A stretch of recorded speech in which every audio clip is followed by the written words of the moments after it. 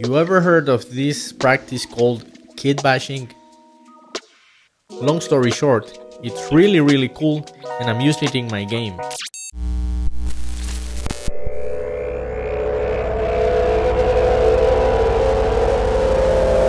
In a nutshell, kit bashing is building models from other model kits. You bring those pieces and put them in your model, or you can even bring them from trash or, or anywhere.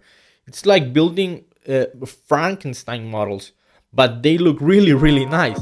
This technique got famous in the 60s and 70s through movies like 2001 Space Odyssey, Star Wars, and shows like Thunderbirds and Star Trek. Pretty cool, right? But why am I talking about this in a devlog? Because now we've got kit bashing but with pixel art and I'm using it to build my game. Check it out. I'm using this rat software obviously called Pixel Basher.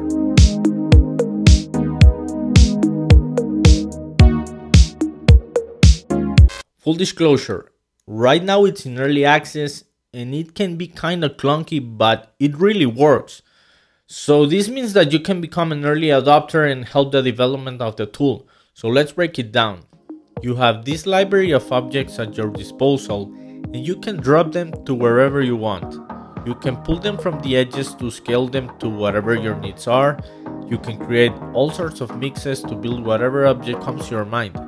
For example, I was thinking about designing some shrines as they are part of the story of the game. I'm using Japanese culture as an inspiration for the story of the game. That's where the logo comes from by the way. I'll talk in depth about that in another video so let's get back to pixel bashing. I looked up some references of Japanese shrines. For example these red gates which are the most distinguishable. They are called torii and they are the gates to Shinto shrines. And guess what? I can create my own versions using pixel bashing. First I create the base structure and then I scale it to the size I want. Then I added some details with other pieces to liven up the piece. After doing all of this, I can even add some color and shadows to make it look like I want. When you finish, you can export it as a PNG or copy it to the clipboard and paste it in Aseprite or whichever software you are using. Here you can keep building any additional details or polish anything you need. Pretty cool right? Let's see something else I'm building in the game with it. I also built a new base for the spaceman because I was bored of the last one. So let's see how I made the building of the house structure. Again, I started with the base structure, scale it up to what I needed, then I started experimenting with all sorts of details until I got where I wanted. After that, I added some color and brought it to Aseprite. I pumped it up some brightness and now it's ready to go into Unity. I've been experimenting with all sorts of structures and it's a pretty straightforward experience. These are some ideas of stuff I've been building with it. Now, let's get back to Unity and see how it looks. I imported the image for the base, set it in the sprite editor and added it to the tile palette. Now I can place the base into the world and voila, looks great right? It already has the collider working as I'm using a tilemap collider with its own 2D composite collider.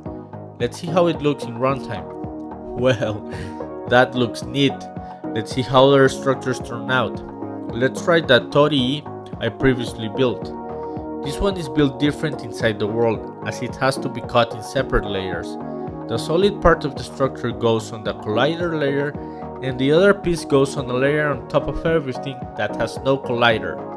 Let's see how this looks in runtime.